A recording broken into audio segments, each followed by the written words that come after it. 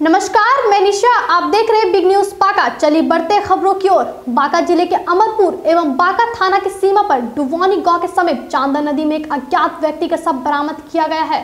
Police देर शाम तक सीमा विवाद को लेकर उलझी रही। प्राप्त जानकारी के अनुसार डुवानी गाँव के समीप चांदा नदी में एक अज्ञात व्यक्ति के शव मिलने की सूचना पर आसपास के गाँव के लोग वहाँ पहुँचे, लेकिन सबकी पहचान नहीं हो सकी। घटना की जानकारी मिलने पर अमरपुर पुलिस वहाँ पहुँची, लेकिन नदी में सीमा देख पुलिस पदाधिकारी ने इसकी जानकारी वरीय अधिकारी को दे दी। सीमा विवाद को लेकर देर शाम तक पुलिस नदी में ही बैठी रही। इधर ग्रामीणों ने बताया कि मृतक का सब काफ़ी क्षत विक्षत अवस्था में मिली है। सबको देखने से ऐसा लगता है कि उसकी मौत के बाद उसे नदी में गाड़ दिया गया। सबके दोनों हाथ एवं पैर कटे हुए हैं। हालाँकि सबके शरीर पर कपड़े देख लग रहा है कि कुछ दिन पहले ही उसकी मौत हो गई है। फ़िलहाल सीमा विवाद सलटने के बाद पोस्टमार्टम होने पर ही मामला का खुलासा हो सकता है कि उक्त व्यक्ति की मौत हुई है या उसकी हत्या कर नदी में सबको गाड़ दिया गया है। बांका ज़िले के अमरपुर पुलिस के द्वारा अवैध बालू उठाव पर पूर्ण रूप से प्रतिबंध लगाने के बावजूद भी बालू माफिया अवैध घाटों से बालू उठाव करने से बास नहीं आ रहे।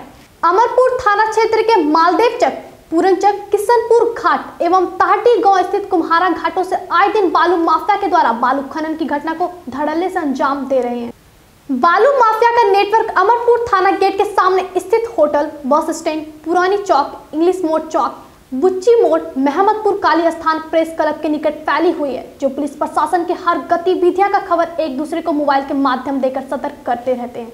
हालाँकि अमरपुर अध्यक्ष अरविंद कुमार राय के द्वारा आए दिन इन बालू माफिया पर नकेल कसने के लिए गुप्त रूप से छापेमारी भी की जा रही है और कई बार थाना अध्यक्ष बालू नदी ट्रैक्टर पकड़ने में सफल भी हो जाते हैं। इसी कड़ी में थाना अध्यक्ष अरविंद कुमार राय के द्वारा गुप्त सूचना पर शुक्रवार की अर्धरात्रि छापेमारी अभियान चलाते हुए ताहडी ग्रामीण पत्र पर बालू नदी एक ट्रैक्टर को जब्त कर लिया। हालाँकि पुलिस वाहन को देखते ही ट्रैक्टर चालक अपनी वाहन छोड़कर फरार होने में कामयाब हो गए। थाना अध्यक्ष ने बताया कि जब ट्रैक्टर के संबंध में खनन पदाधिकारी को सूचना देते हुए कार्रवाई की जा रही है। इन्होंने बताया कि बालू माफिया को चिहित किया जा रहा है। जल्द ही बालू खनन में संलिप्त लोग सलाखों के पीछे होंगे। उधर दूसरी तरफ़ थाना अध्यक्ष के द्वारा निरंतर किए जा रहे हैं। छापेमारी अभियान से बालू माफिया में साफ़ तौर पर हड़कम देखी जा रही है। अमरपुर स्थानीय रेफरल अस्पताल में शनिवार के दिन प्रधानमंत्री मातृत्व सुरक्षा अभियान के तहत एक शिविर का आयोजन किया गया।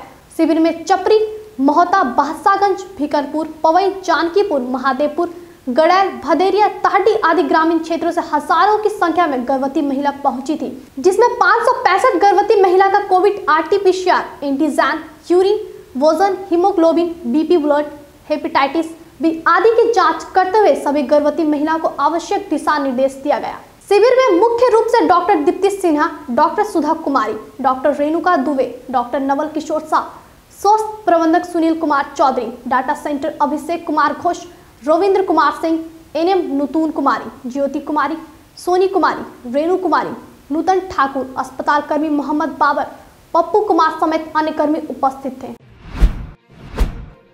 बिहार सरकार के निर्देशों के बाद पूरे बिहार के विभिन्न प्रखंडों व जिलों में ज़मीन संबंधित विवाद के निपटारों को लेकर जनता दरबार का आयोजन किया गया। इसी कड़ी में शनिवार के दिन थाना परिसर में जनता दरबार का आयोजन किया गया। जनता दरबार में अमरपुर सीओ की अनुपस्थिति में आए फरियादियों की फरियाद राजस्व कर्मचारी विकास कुमार झा ने सुनी। जनता दरबार में राजस्व कर्मचारी के अलावे अमरपुर थाना अध्यक्ष अरविंद कुमार राय प्रशिक्षु महिला दरोगा सुमन ठाकुर समेत अन्य कर्मी उपस्थित थे। जनता दरबार में शनिवार के दिन, पिछले शनिवार के दिन प्राप्त छह आवेदन का निष्पादन किया गया, जबकि ज़मीन संबंधित विवाद को लेकर ग्यारह नए आवेदन प्राप्त हुए हैं। जिसमें छोटी भैड़ा गाँव निवासी सुबोध यादव ने अपने गोतिया के ऊपर जबरन ज़मीन कब्जा करने का आरोप लगाया। तो वहीं अमरपुर शहर के मनोज महतो ने गोतिया द्वारा ज़मीन में हिस्सा नहीं देने का आरोप लगाया। जबकि अमरपुर शहर के मनोज महतो ने अपने गोतिया पर जबरन बंटवारा नहीं करते हुए ज़मीन की बिक्री करने की साजिश रचने का आरोप लगाया। मौके पर राजस्व कर्मचारी ने बताया कि सभी प्राप्त आवेदनों की जाँच करते हुए विपक्षी को नोटिस निर्गत करने की कार्रवाई किया जा रहा है। जनता दरबार में विभिन्न गाँव से दर्जनों की संख्या में फरियादी पहुँचे थे। अब तक के लिए बस इतना ही। फिर होगी मुलाकात। तब तक के लिए नमस्कार।